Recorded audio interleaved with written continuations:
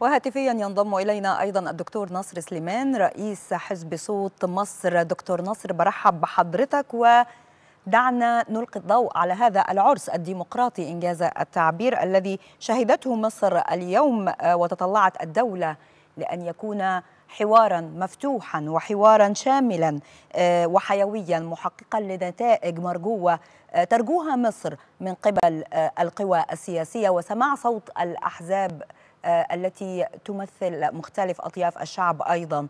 كيف ثمنتم دعوة القيادة السياسية ومتابعتها لمجريات هذا الحوار وخطواته حتى النهاية؟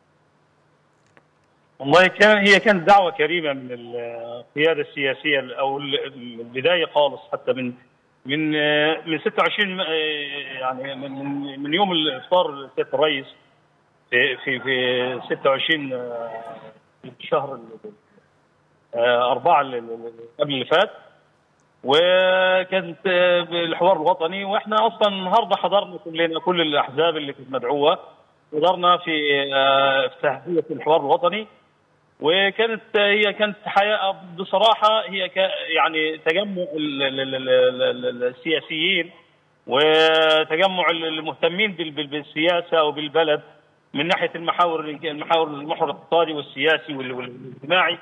طبعا إحنا وجدت النهارده كان هو هو كان عرس وبصراحة فرحة إن كل الأطياف اللي اللي وصلت بمخت... بال... حتى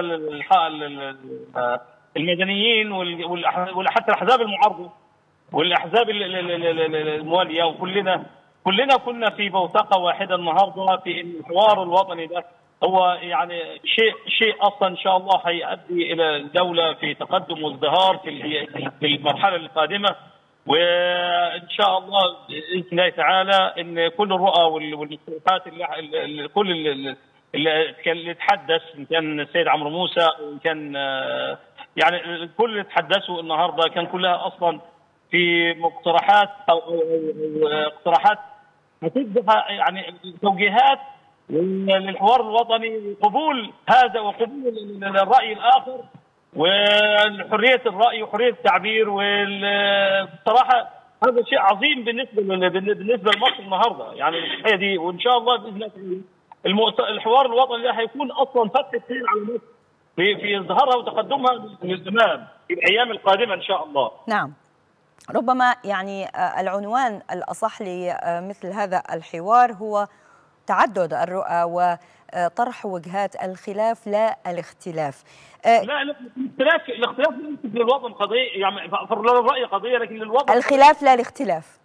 ما فيش ما فيش إن شاء الله إحنا الرؤى كلها أصلا واضحة وأصبحت المقترحات اللي, اللي, قدم اللي قدمناها إحنا إن كان الأحزاب أو أيوه كيف جاءت مشاركتكم كحزب صوت مصر في أي محور؟ والله أنا إحنا كنا مهتمين قوي بالمحور الاقتصادي من ناحية يعني من الزراعه يعني كنا قدمنا مقترح كده بالاهتمام بالزراعة لأن كساء ودواء وغذاء يعني حتى كان نابليون بيقول الجيوش تمشي على بطونها يعني من غير غذاء ما لا يمكن إن إحنا وأنا كنت قدمت النحو الاقتصادي واهتمينا بيه قوي وقدمنا مقترحاتنا باستفاضة جامدة وطبعا من ناحية كمان الاجتماعي والسياسي طبعا لأن إحنا ما فيش اختلاف إن شاء الله إحنا من ناحية الصحة وال كان الاجتماعي من ناحية الصحة والتعليم إحنا شايفين البلد شغالة في كل المجالات دي أصلا يعني هي من ناحية الصحة من ناحية التعليم مهتمة جدا. اللي إحنا شايفينه في المرحلة الماضية والمرحلة القادمة. إحنا بس يكون في تأثير شوية اللي هم يعني الأخوة الأخوة اللي بيتكلموا من ناحية الحياة. ما هي أبرز القضايا التي تم التركيز عليها من قبل حزب صوت مصر في أطروحاته في هذا الحوار؟ والله إحنا قلت يعني بخلاف الزراعة بخلاف الزراعة أنا قلت من ناحية الصحه والتعليم يعني من ناحية ان إحنا نهتم شوية بالتعليم ومن ناحيه الصحه قدامنا برضه لو ان إحنا إحنا عارفين ان القيادة السياسية أو القائمين على الدولة اهتموا بالصحة والتعليم منذ أن مسك سياده الرئيس ما هي أبرز المقترحات التي قدمتموها في هذا السياق؟ والله إحنا قدمنا بصراحة إحنا شفنا اختلاف في الرأي لا يسجد قضية أو في الوطن قضية. قلنا إن إحنا إن شاء الله بإذن الله تعالى إن إحنا من ناحية المحور السياسي إن إحنا عايزين كل الجماعة أصحاب الرأي نسامحهم حتى لو اختلفوا معانا.